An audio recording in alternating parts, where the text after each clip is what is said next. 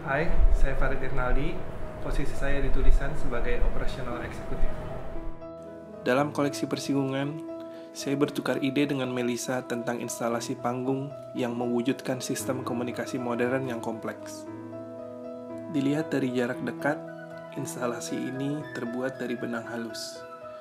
Tapi dari jarak jauh, susunan keseluruhannya melukiskan jerat sistem yang membatasi pandangan manusia dan hubungan sosial mereka. Perspektif inilah yang disampaikan Melisa dalam surat 2. Dari mulai pemakaian benang merah, karena dalam bahasa Indonesia, kata ini menyimpulkan lintas hubungan.